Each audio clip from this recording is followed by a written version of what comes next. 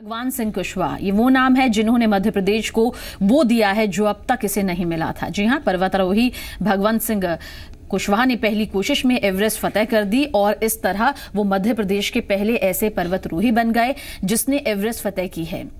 ये रिपोर्ट आप देखिए। उनका हौसला हिमालय से भी ऊँचा है। वो चट्टान से भी मज़बूत हैं। उन्होंने रच दिया है इतिहास।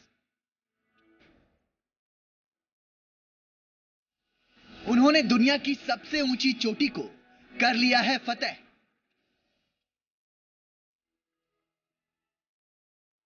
वो हैं एवरेस्ट विजेता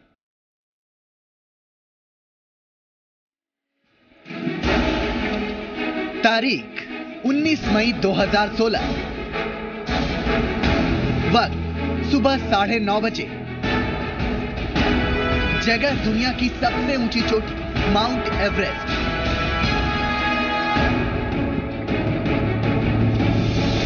और एवरेस्ट की चोटी पर शान से लहराता हिंदुस्तान का तिरंगा झंडा।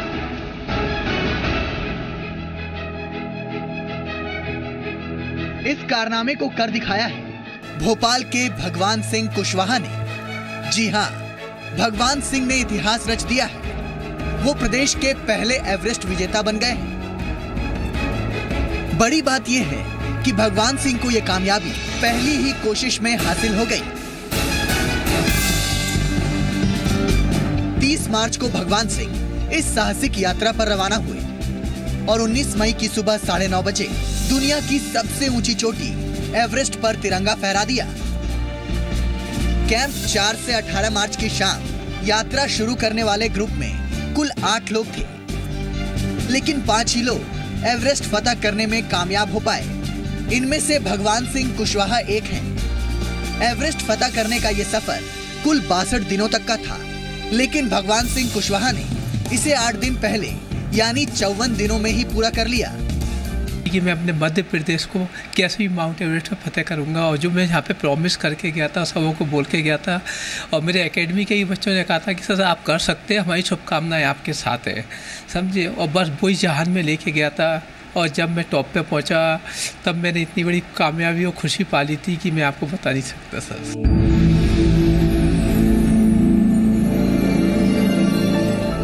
एवरेस्ट को फतेह करने की चुनौती इतनी आसान नहीं थी।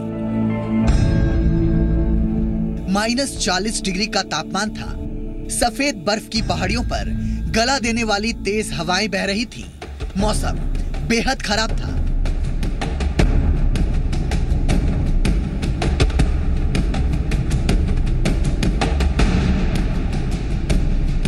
कई बार शरीर में चोटें आई, पैर के अंगूठे गल गए, ठंडी बर्फ़ से चेहरे की त्वचा खराब हो गई। लेकिन भगवान सिंह के चट्टानी हौसलों के आगे माउंट एवरेस्ट छोटा पड़ गया। भगवान सिंह तभी रुके, जब दुनिया की सबसे ऊँची चोटी पर भारतीय ध्वज फहरा दिया।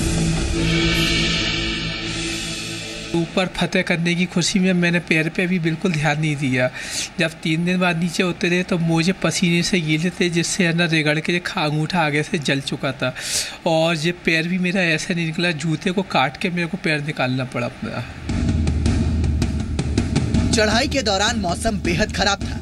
भगवान सिंह के पास ना तो कुछ खाने को था और ना ही पीने को।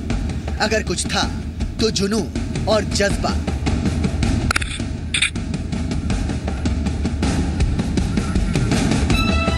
जज्बा एवरेस्ट पर पहुंचकर तिरंगा फहराने का। इसलिए उन्होंने रोज 15-15 घंटे बिना रुके, बिना थके चढ़ाई की और आखिरकार उनकी जिद की जीत हुई।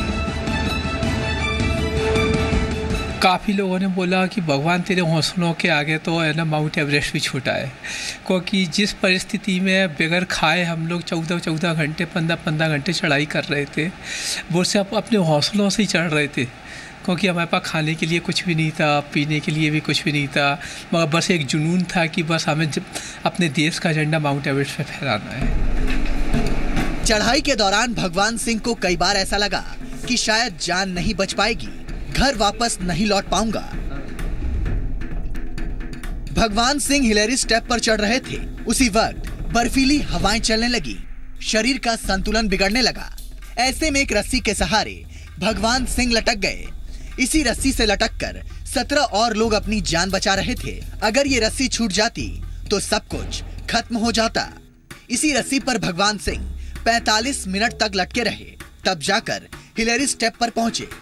ये चढ़ाई के दौरान सबसे मुश्किल वक्त था। हम लोग है ना, हिलेरी स्टेप पे चढ़ने में लगे हुए थे और उसी टाइम पे इतनी बर्फीली और ठंडी हवाएँ चालू हो गई थी और एक रोप के ऊपर हम अठारह लोग लटके हुए थे। अगर वो रोप हमारे हाथ से छूटी आती तो शायद वो हम वापस नहीं आ सकते थे। मगर उसके बावजूद भी मैं हिला नहीं, डगमगाया नहीं, बिल्कुल भी। और तब जाके 45 मिनट लटकने के बाद तब वो हिलेरी स्टेप पार करा मैंने। 40 साल के भगवान सिंह भोपाल के खेल विभाग में तैनात हैं। स्पोर्ट्स को लेकर उनमें इतना जुनून है कि उन्होंने अब तक शादी नहीं की। एवरेस्ट मिशन से कुल 21 लाख रुपए खर्च हुए। भगवान को करीब 18 लाख रुपए खेल विभाग ने दिए, जबकि बाकी के दो लाख उन्होंने अपनी जेब से खर्च किए। अब दुनिया की सबसे ऊँची चोटी, माउंट एवरेस्ट को फतह करने वाले भगवान सिंह को विक्रम अवार्ड से नवाजा जाएगा। इसके लिए मध्य प्रदेश सरकार जल्द ही सिफारिश करने वाली है।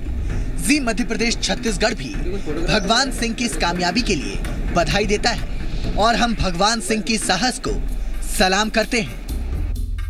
आशुतोष जी मीडिया, भोपाल।